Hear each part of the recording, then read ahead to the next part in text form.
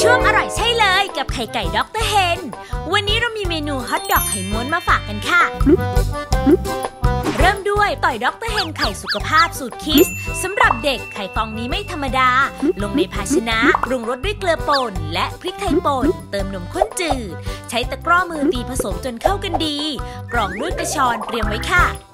อุ่นกระทะทรงสี่เหลี่ยมทาน้ำมันพืชให้ทั่ว ตักส่วนผสมไข่ไก่ที่เตรียมไว้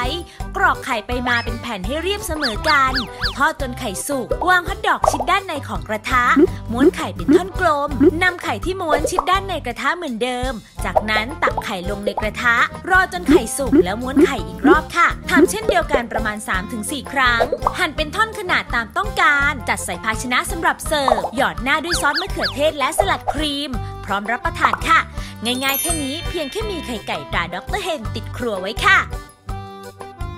ไข่ไก่ Dr. Hen ส่งมอบความสุขและสุขภาพดีแด่คนที่คุณรัก กับชุด gift set บรรจุด้วยไข่สูตรโอเมก้า 3 และสูตร kids สำหรับเด็ก มีจำหน่ายแล้วที่ซูเปอร์มาร์เก็ตชั้นนำสอบถามโทร 02 187 1888